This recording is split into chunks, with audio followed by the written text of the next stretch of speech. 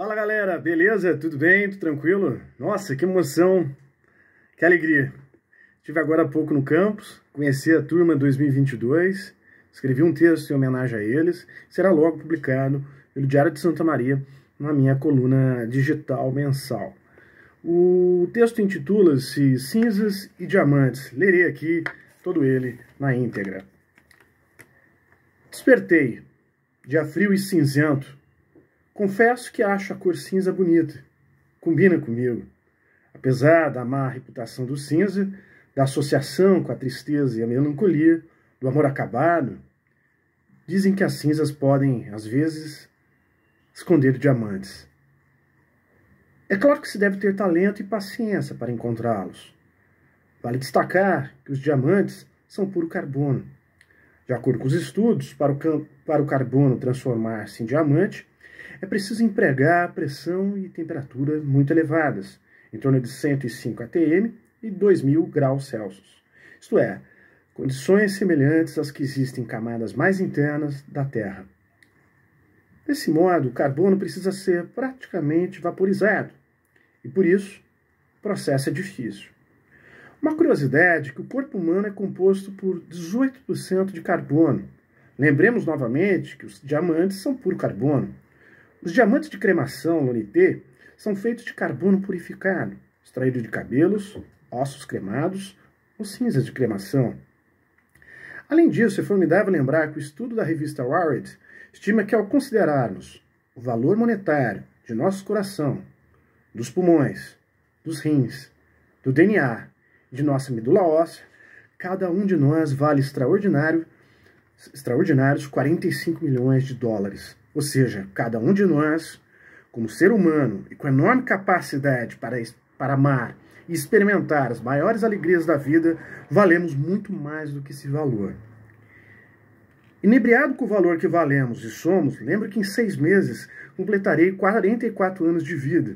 Neste ano de 2022, completei 20 anos de magistério, 17 anos no ensino superior. E em novembro serão 13 anos de Universidade Federal de Santa Maria. Ao longo de todo esse tempo, amadureci como pessoa, escritor e educador. As dificuldades e os desafios da educação brasileira em todos os níveis tornaram-se mais complexos. Surgiram inúmeras formas e estratégias de operacionalização didático-pedagógica, novas técnicas e ferramentas de aprendizagem, de ensino-aprendizagem. A neurociência a neurolinguística ganham e ganharam corpo na educação. Formas híbridas de ensino fortalecem-se entre os gestores de educação. O novo chegou à educação brasileira. É necessário repensar, redebater, reavaliar, revisar, reatualizar o horizonte educacional do ensino superior brasileiro. O momento não é de paralisia e desalento. E relembra a todos, todas, professores, professoras e os alunos, alunas do ensino superior, qual é o nosso papel como atores e protagonistas da educação superior neste país. São quatro valores da universidade que devem ser repassados ao mundo. Primeiro, nadar contra a correnteza. O pensamento na academia vive, conhece, relaciona com o mundo externo. Não, estou, não estamos na Torre de Marfim, onde nos desvinculamos das preocupações práticas do dia a dia. Na verdade, observamos com outros olhos, nunca olhar de autoridade e nem lugar de fala. Isso é errado. É um olhar pedagógico, é um olhar didático, é um olhar de aprendizado, ou seja, muito estudo, muita pesquisa, domínio rigoroso dos conceitos e da linguagem da área, das categorias analíticas, dos pressupostos técnicos, da visão inquisitiva, inquiridora e questionadora. 2. Ácido sulfúrico nas certezas. O, na, o pensamento na academia concebe a ciência como pilar. A ciência deve progredir e progride. O conhecimento pode crescer e cresce. Aprendemos com os nossos erros. Os erros fazem parte da ciência. E veremos os testes de enorme rigor científico, a refutação, as experimentações que sejam categoricamente justificadas e que sejam indubitavelmente verdadeiras. Não esqueçamos que a ciência é real, contingente, sistemática, falível e aproximadamente exata. Ela lida com ocorrências e fatos, suas proposições e hipóteses tem a sua verdade ou falsidade conhecida através de experimentações. Ela tem um saber ordenado logicamente.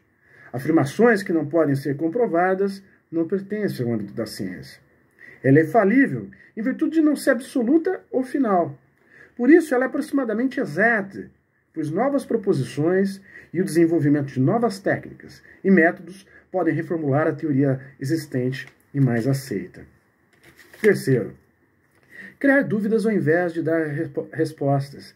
A dúvida, motor da filosofia moderna e contemporânea, é também da ciência. É o combustível que deve mover o pensamento da academia, da universidade. Todos podemos e todos devemos colocar em dúvida sobre o que pensamos, escrevemos e falamos. Rigor e precisão são situações necessárias.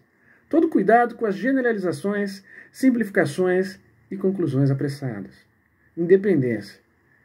Quarto, este é o valor fundamental, essencial da universidade, o que significa ter independência cognitiva, controle emocional e autocontrole valorativo. É isso aí, espero que vocês tenham gostado desse texto. Ficou é, agradável escrevê-lo, admito. Valeu, grande abraço.